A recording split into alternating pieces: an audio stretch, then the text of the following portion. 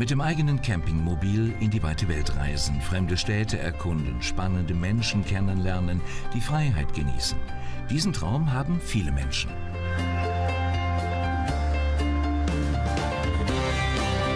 Thelonius Hermann und seine Freundin Tara Wissel aus Köln haben sich diesen Traum erfüllt. Inspiriert dazu hat sie die Musik.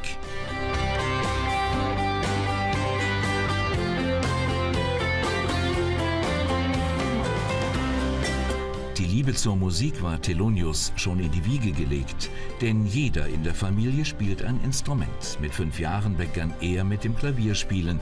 15 Jahre später ist er immer noch dabei.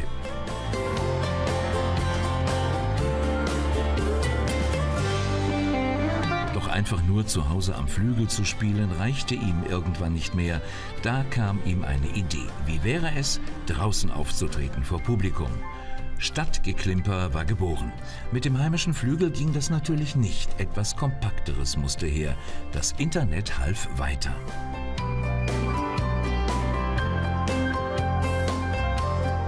Das Klavier habe ich tatsächlich vor vier Jahren auf Ebay gekauft. Äh, für 120 Euro damals war das echt verdammt viel Geld und ich war noch am Zweifeln, ob sich das lohnt für mich.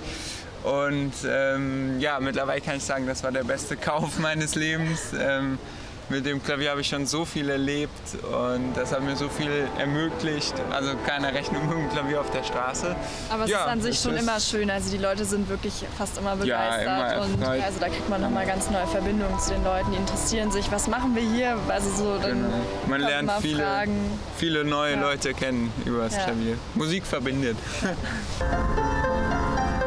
Heute unternehmen die beiden weite Touren. Doch angefangen hat der reisende Musiker in der eigenen Nachbarschaft.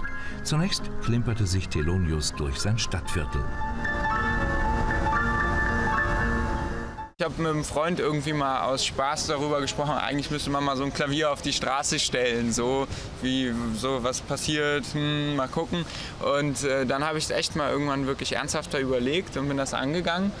Und daraus ist dann Stadtgeklimper so langsam entstanden. Ich habe mit meinem Vater zusammen aus alten Kellerbrettern erstmal so eine wackelige Unterkonstruktion gebaut und habe mich erstmal nur in meinem Viertel so ein bisschen an die Straßenecken getraut und äh, dann hat das einfach Spaß gemacht und den Leuten hat es auch gefallen und so hat sich das ergeben, dass das immer irgendwie ein bisschen weiter ausgeführt wurde.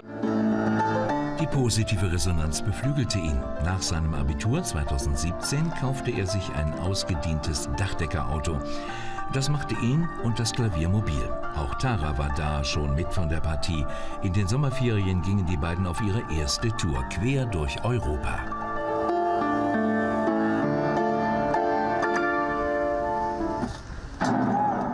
Irgendwann ist unser Auto, das war so alt wie ich, Baujahr 98, äh, ist dann irgendwann fast auseinandergefallen und äh, dann haben wir uns natürlich überlegt, so, uh, wie, wie schaffen wir es, das Projekt äh, fortzuführen. Dann sind wir tatsächlich ja, zu Volk gekommen. Ich habe einfach mal eine Mail hingeschrieben und ähm, daraufhin haben wir so ein bisschen kommuniziert und dann hat sich das ergeben mit dem Transit, genau.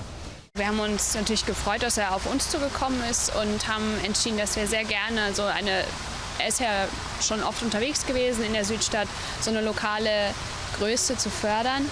Und ähm, es war eben auch eine gute Möglichkeit zu zeigen, wie vielfältig unsere Nutzfahrzeuge sind. Dass eben Ford Transit äh, nicht nur in einer Werkstatt von Nutzen sein kann, sondern auch für Personen ganz individuell Vorteile bieten kann und eben auch zu einem Van Wohnvan ausgebaut werden kann.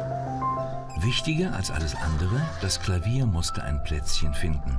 Um den Klimperkoloss in den Van zu hieven, gibt es jetzt auch die Unterstützung einer Seilwinde. Das spart Zeit, Kraft und Nerven, denn schließlich gehört zum Stadtgeklimper-Konzept das Instrument zu spontanen Konzerten an schönen Orten einfach aus- und einzuladen.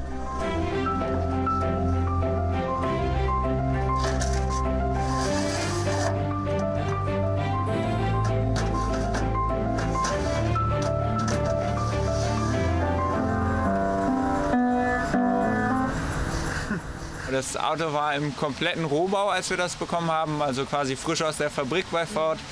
Und wir haben tatsächlich äh, angefangen mit der Bodenplatte und dann mit der Seitenverkleidung und äh, haben uns dann ein Grundgerüst gebaut. Das ist nämlich das Spannende. Wir haben keine einzige Blechschraube verwendet, sondern wir sind rangegangen und haben die bestehenden Gewinde genutzt und haben dann alles mit so einer Klemmtechnik befestigt, die Grundkonstruktion, dass man in den Holmen ein Stück Holz legt und dann die Grundkonstruktion dran schraubt. Dementsprechend ist keine Schraube im Bus. Äh, die da nicht hingehört. Man, genau, ja.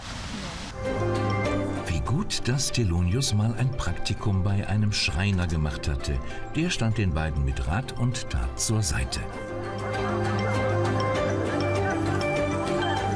Tatsächlich sind wir bei einer relativ simplen, einfachen Variante geblieben, die aber so äh, einfach am besten funktional ist für uns jetzt, für unsere funktioniert für unsere Bedürfnisse. Also weil was bei uns der wichtigste oder der größte Punkt war, ist zum einen wir nehmen Klavier mit. Das äh, glaube ich haben nicht so viele Camper-Ausfahrten drin. Dann ähm, war für uns auch wichtig, dass wir längs schlafen, weil wir beide doch sehr lang sind. Dann wollten wir möglichst viel Raum und äh, auch die Stehhöhe, die wir hier haben, auch gut nutzen können. Und deshalb haben wir uns so ein L überlegt als Mittelgang, äh, dass man wirklich von beiden Türen auch noch, wenn, wenn man einmal vom Poller steht, hinter einem jemand geparkt hat oder so, dass man wirklich von beiden Seiten noch rauskommt, sich gut bewegen kann. Und das haben wir alles in einen Entwurf gepackt und da finde ich, haben wir wirklich viel bei gelernt, äh, was so Planung, Überlegung und Struktur angeht. Das Ergebnis kann sich sehen lassen, ein Camping-Unikat mit Platz fürs Klavier. Und auch an einer anderen Stelle des Vans findet sich ein Bauteil, das eigentlich in Klavieren zum Einsatz kommt. Dann gibt es hier die Tür das ist extra mit dem Klavierband konstruiert, dass man das Ganze wirklich bis nach außen aufklappen kann, damit man die schweren Wasserkanister auch nach dahin rausholen kann. Und zwar haben wir in den Bootsbau geguckt und uns da Inspiration geholt für eine Fußpumpe. Da tritt man nämlich einfach nur drauf und pumpt sich quasi damit das Wasser hier hoch. Und wo geht es nun mit dem neuen Van als erstes hin? Also wir werden jetzt äh, dieses Mal in den Balkan fahren, wir werden über Kroatien nach Bosnien fahren und äh, dann über Montenegro nach Albanien und Griechenland. Und äh, das machen wir erstmal bis zum Herbst, weil wir dann beide mit unserem Studium beginnen. Und dann haben wir aber ja auch dann die Semesterferien, wo wir dann unterwegs sein werden. Und nach dem ähm, Bachelorstudium wäre dann natürlich, also ist ein Traum von uns, mal sehen, was daraus wird, ähm, wirklich eine besondere Tour zu machen, sowas wie zum Beispiel die Panamerikaner ähm, also dann auch wirklich yes. mal eine krasse, lange Tour zu machen. Genau. Drei Kölner Charaktertypen auf musikalischer Welttournee. Ein Campingvan und zwei Musikbotschafter tragen Kölsche Fröhlichkeit in die Welt.